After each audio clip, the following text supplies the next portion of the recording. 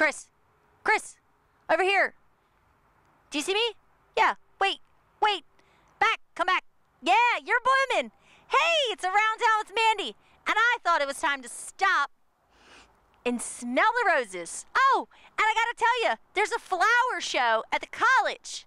Let's go meet the ladies. And I'm here with Carolyn and Jean. How are you, ladies? Fine, thank you. Great. Thank you, Mandy. Beautiful day. Yes, it is. It's the District 1 Federated Garden Clubs of Maryland flower show. It's called Nice. Harvest Highlights. Uh-huh.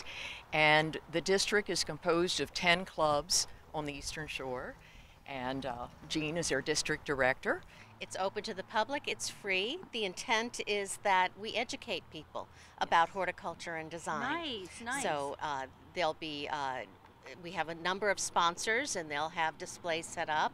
We have one of our sponsors is Bartlett Tree, and Okay. they're they're going to talk about good bugs and bad bugs. There we go, yeah. And uh, we have a program on plastic and recycling. Uh-huh.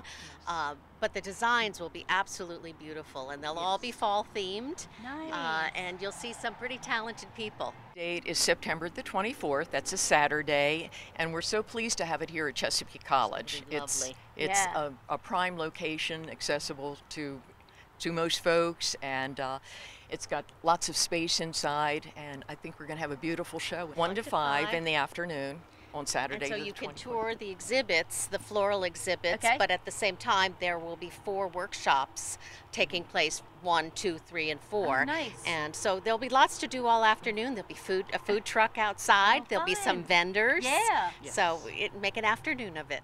So it sounds like a fun event, huh? So for more information, contact the number below and put the date on your calendar. They're gonna have food trucks and flowers.